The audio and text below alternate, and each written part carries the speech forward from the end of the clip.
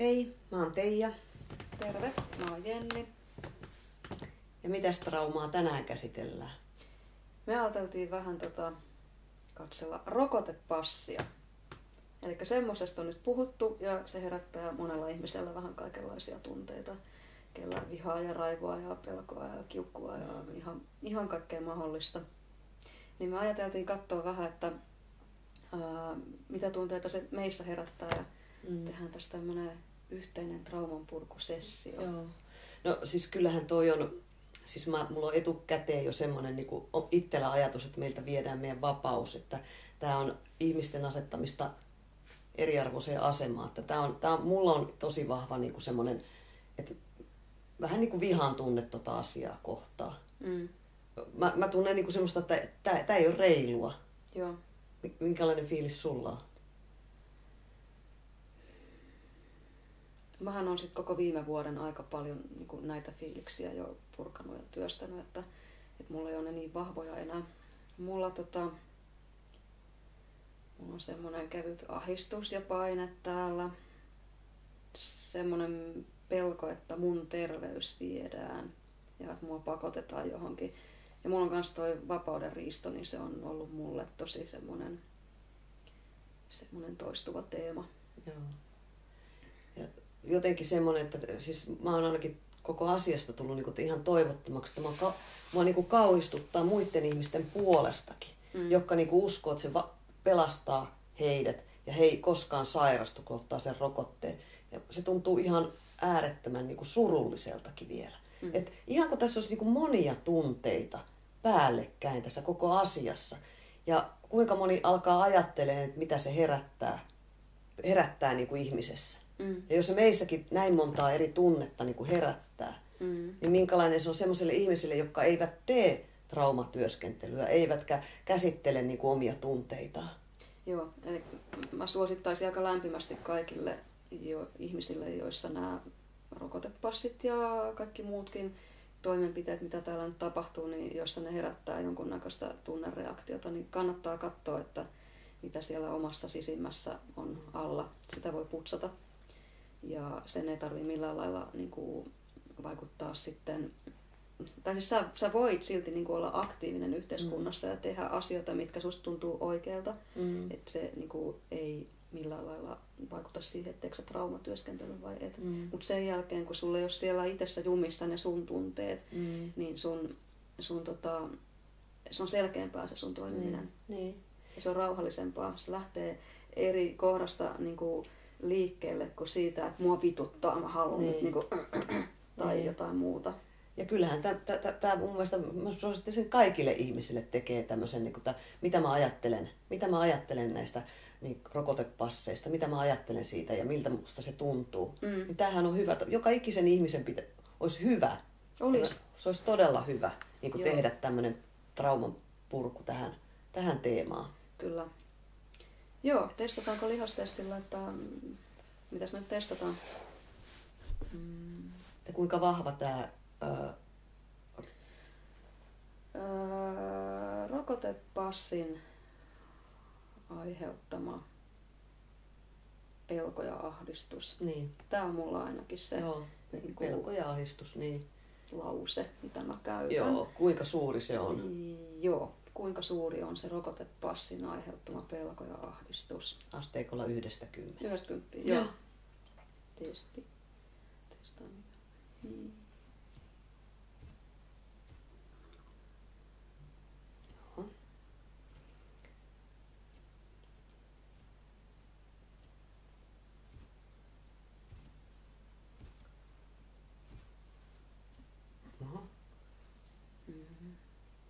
Tuliko sulle jo tieto?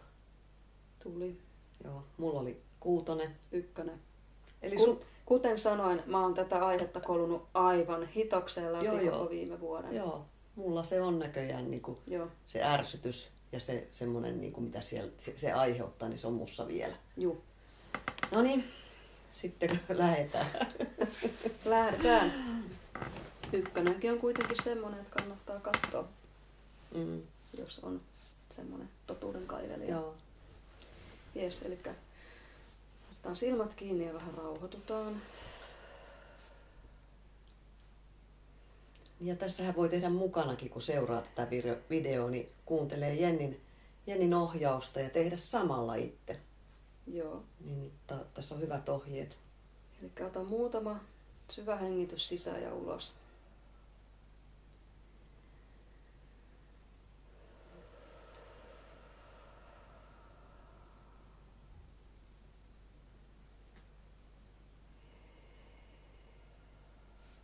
Ja visualisoidaan ne alaspäin menevät rappuset meidän eteen. Se on kymmenen askelmaa. Mä luettelen numerot kympistä ykköseen ja lähdetään jokaisella numerolla astumaan aina yksi askelma alaspäin. Kymmenen. Yhdeksän. Kahdeksan. Seitsemän. Kuusi. Ja voit päästää irti sun egosta ja mielestä. Viisi, neljä, kolme, kaksi, yksi. Ja nyt ollaan siellä alitajunnan tasolla.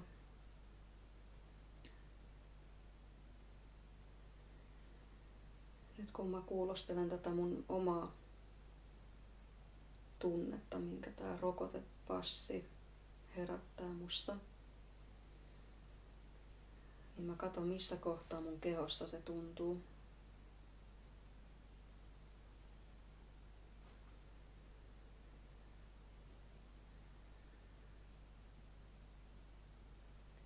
Mulla tuntuu tuossa rintakehällä tuossa ylhäällä ei ole mikään tietty kohta. Se on vähän semmoinen ehkä puristava tai painostava tunne. Mulla tuli taas niin kun, mulla oli tämä oikea jalan niin tuolta sää, polven ja nilkan välissä se sääri kihelmöi. Mulla tuli niin, niin vahva fiilis, että, että asialle pitäisi tehdä jotakin. Tämä jalka niin vie, mulla on semmoinen niin vahva että jotain pitäisi tehdä. Mä en tiedä minkä takia niin kuin musta tuntuu tältä. Mm.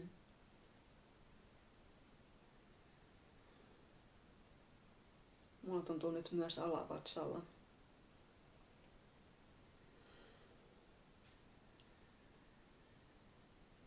Ja semmoinen, mulla on semmoinen pieni kiukku tuo sisällä, semmoinen, että vähän niin kuin tekisi mielessä, että perkele.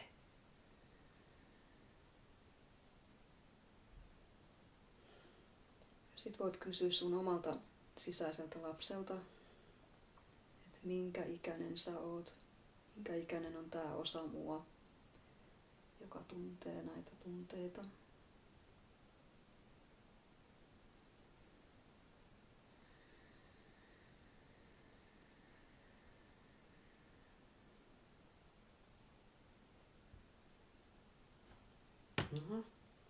Mulla tuli, että kahdeksanvuotias.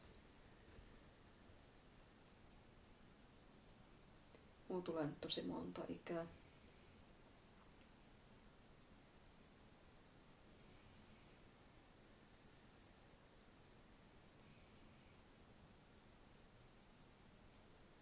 Hirmu vahvasti tulee 15-vuotias. No, mulla tuli sitten vaan seuraava oli 20-vuotiaan. Tämä sama kiukku. Mä otan tämän 15-vuotiaan. Mä kyllä menen tähän kahdeksanvuotiaan. Joo, kannattaa, kannattaa ottaa aina se nuorin ikä, mikä Joo. tulee. Voi tulla myöskin, että se on aikaisemmasta elämästä. Jos semmoinen tulee, niin ota sitten sieltä. Ja sitten voidaan kysyä itseltämme, että voisiko se sisäinen minä näyttää, että mistä tässä on kyse.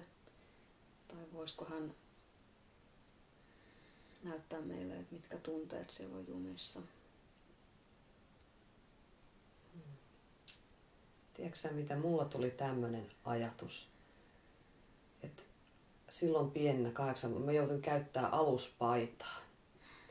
Ja se aluspaidan reunat oli, niin tota, se piti panna se aluspaita, ja ne reunat oli karheet. Ja mä muistan, kun mä rimpuilin, kuule, mä yritin repiä niitä sitä aluspaitaa, kun mä inhosin pitää sitä. Ja se annettiin, että mun pitää pitää sitä. oi, oi, oi. Sieltä tulee se kiukku, että mulle, mulle niinku, että, sä, että sä pistät tämän paidan päälle.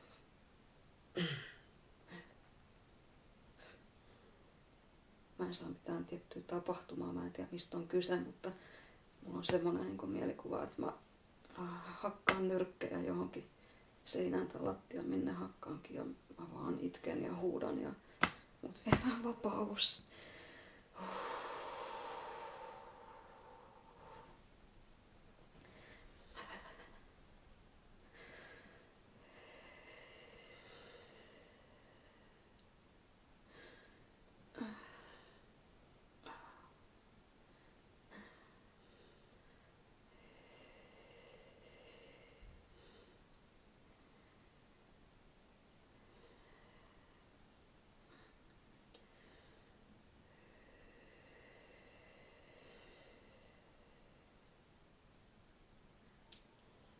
Joku sisäinen lapsi sanoo koko ajan, että mä en suostu tähän, mä en suostu tähän, mä en suostu tähän. Mulla on jotain teippisuunne tää.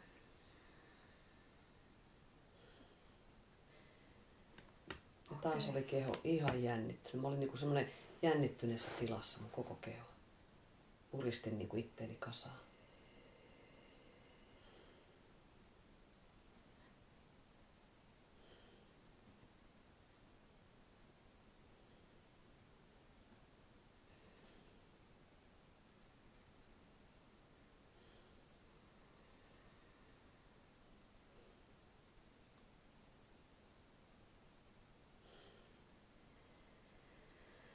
Ollaan hetki näiden tunteiden kanssa. Koitetaan tuntea ne niin voimakkaasti kuin vaan mahdollista.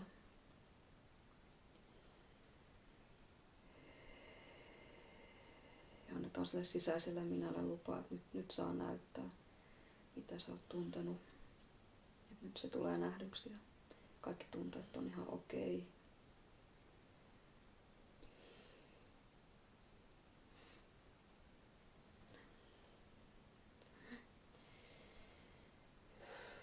Jotenkin mä ajattelin, että mä saan päättää mitä mä haluan, että mun ei tarvitse totella. Mulla on tosi vahvaan semmonen, että niinku muut, muut päättää mun puolesta. Mä en saa olla mitä mä oon ja se tuntuu ihan kauhealta. Mä haluan vaan pois ja mä haluan vaan vapaaksi. Joo, mulla nousee uhma. Mulla nousee ihan valtava uhma. Mulla on semmonen, että mä oon ihan voimaton mä raivoon, mutta mulla ei ole mitään valtaa siihen, että niin. mitä mun elämä on. On ihan voimaton. Mä voittelen mitä. Mä vaan pakotetaan.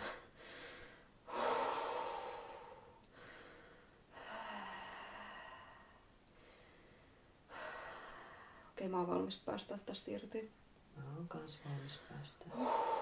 Elikkä annetaan lupa sille meidän sisäiselle lapselle, että nyt, nyt saat päästä irti näistä traumoista ja rajoittavista uskomuksista, joita sä oot kantanut koko ajan. Ja visualisoida se pyörämyrsky, joka tulee tuolta jaloista ja kulkee päästä taivaaseen ja se pyöräyttää mennessään nämä kaikki traumat ja rajoittavat uskomukset. Mua pyörryttää jonkun verran.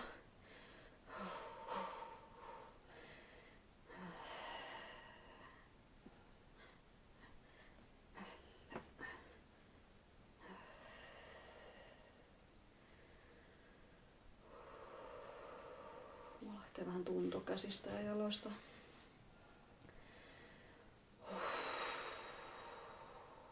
Se on jännä, kun mulla nousee se uhma, että minähän saan tehdä mitä mä haluan. Että kukaan ei mua määrää.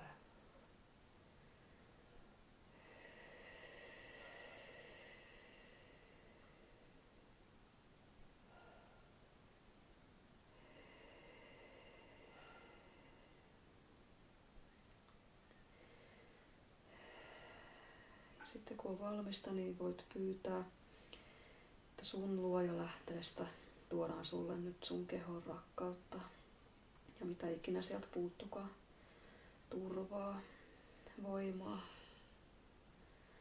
vapautta. Mä pyydän vapautta.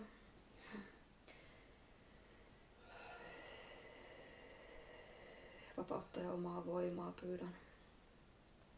Joo. Mä visualisoin kuinka sitä tulee tuolta mun päästä mun kehoon. Tähän rintakehälle. Ja alemmas kehoon. Mä haluan sen oikeuden. Mulla on oikeus tehdä omat päätökset itse. Kukaan ei määrää mua. Mä, otan sen, mä haluan semmoista kehooni. Valon kautta sieltä omasta, omasta lähteestä.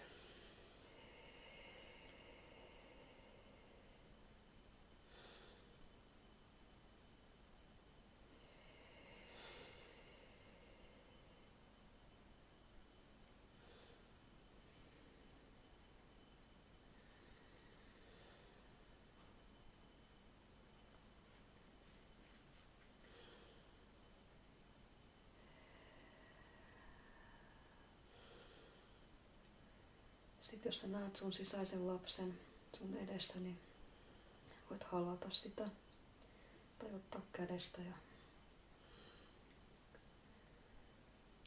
mä visualisoin, kun mä otan mun sisäisen lapsen mun syliin. Se on nyt nuorempi kuin se 15-vuotias. Mm.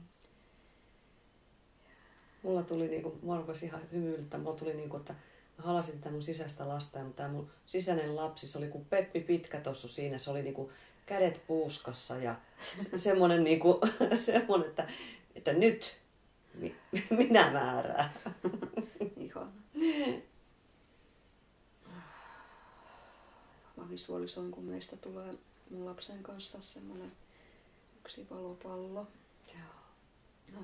meillä on se turva ja meillä on, meillä on oma voima. Ja meillä on vapaus. Ei voi kukaan määrätä.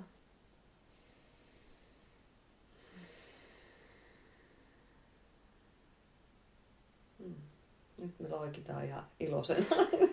loikitaan. Yhdessä me vedetään, kuule, pompitaan ja...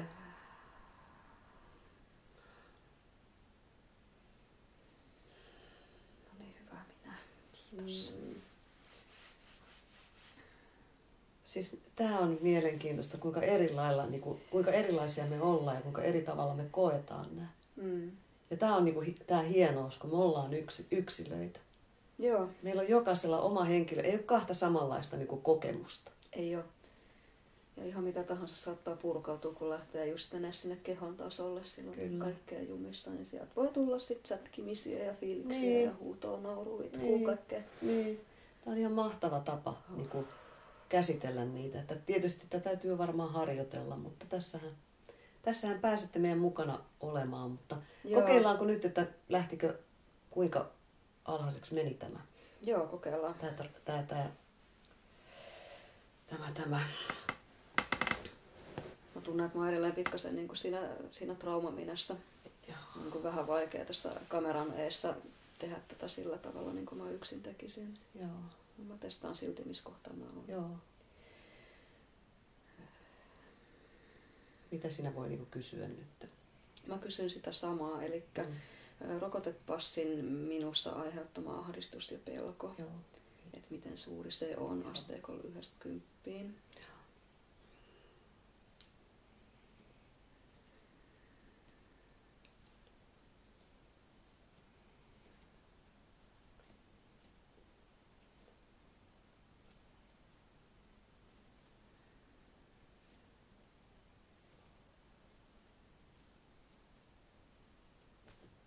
Mulla se antaa nollaa, eli se olisi mennyt ykkösestä nollaan se ahdistus ja pelko. No mä sain kakkosen. Mikä sulla oli lähtötaso? Kuto. Kuto. Toi on todella hyvä. Joo. Eli jotenkin mulla tuli semmoinen olo, että se Peppi Pitkä tuossa kävi näyttää. Että Joo. Semmoinen, että, että, että ei tarvitse kaikkeen suostua. Mitä on mm. aikaisemmin, vaikka missä elämänvaiheessa suostunut johonkin ja joku on pakottanut sun, mm. niin siihen ei tarvitse suostua. Joo, ja sitten kun me muistetaan, mm. että oikeasti niin kuin, että minä olen vahva, minä olen se luoja, joka mm. luo mun elämän. Kyllä. Ja sen kun vaan muistaa, niin silloin kellään muulla on mitään sanomista eikä mitään pakottamista, se vaan on. Niin, kyllä. Yes. Tämä oli tässä. Kiitoksia, kun katsotte ja mukavia traumapurkuja jokaiselle. Joo, kiitos. Ja heippa. Moi moi.